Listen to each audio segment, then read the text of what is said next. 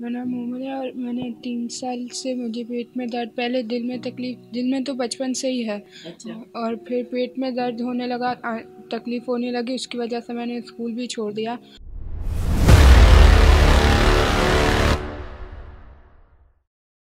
और फिर इलाज भी नहीं हो पा रहा और मैंने पढ़ाई भी नहीं हो पा रही। कहाँ तक पढ़ा है आपने? सिर्फ़ एट तक पढ़ा था नाइन के पेपर देने तो और बीच में ही पेपरों के दौरान ही तकलीफ़ होने लगी तो मैं वो पेपर भी नहीं दे पाई। पढ़ने का शौक है आपको? जी बहुत है लेकिन पढ़ नहीं सकती तकलीफ़। आगे चाहती हैं कि पढ़ाई कंटिन्यू हो आप? जी चाहती हूँ लेकिन पढ़ नहीं सकती क्योंकि तकलीफ़ इतनी होती है किसी चीज़ पे तवज्जो नहीं दे पाती। तो इलाज कब से नहीं हो रहा है आपका? तीन साल तीन जैसे तीन साल से तकलीफ़ हो रही थी उसके बाद तो इलाज होता है ऐसे कोई मतलब हो नहीं पाता। ये कोई इग्नोर करने वाली बीमारी तो नहीं है। दिल का आर्जा एक बड़ी बीमारी है।